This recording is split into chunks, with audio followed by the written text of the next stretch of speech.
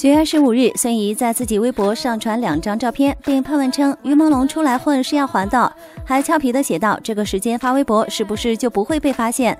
照片中，孙怡展示出自己与于朦胧合作演出的截图，图中的她咬着于朦胧的手臂，看起来十分搞笑。第二张图则是两人合作出演的剧集中，于朦胧咬孙怡手臂的场景，也是很调皮了。网友纷纷用董子健口吻说道：“我没有吃醋，我没有。”我能说不是吗？互咬吗？精彩！近日电视剧《凉生》，我们可不可以不忧伤？正在热播当中。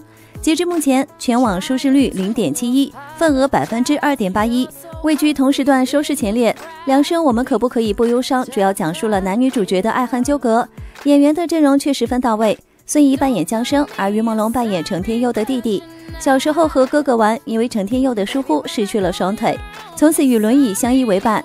他是除了江生之外唯一一个可以牵制得了天佑的人，两人也上演了精彩的对手戏，演技也受到网友好评。